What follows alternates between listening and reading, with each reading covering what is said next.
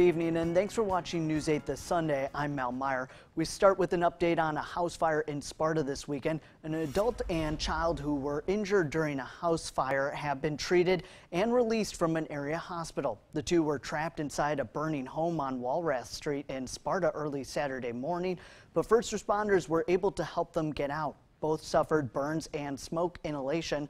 A paramedic who collapsed at the scene is still in the critical care unit, but family members tell the Sparta Area Fire District Chief that his condition is improving.